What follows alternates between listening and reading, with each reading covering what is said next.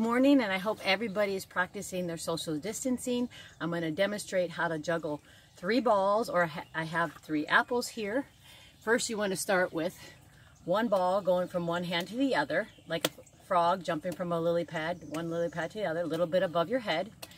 Then you want to say throw, throw, catch, catch, throw, throw, catch, catch, throw, throw, catch, catch, throw, throw, catch, catch.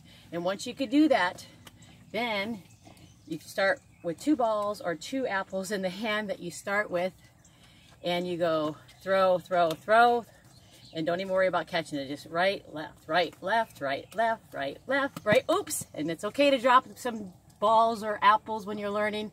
If you're not dropping, you're not learning. Be safe out there. Wash your hands. Remember to keep away from six feet away from everybody. Keep your hands from your face and know that Coach Hank loves you. Take care and God bless. Bye.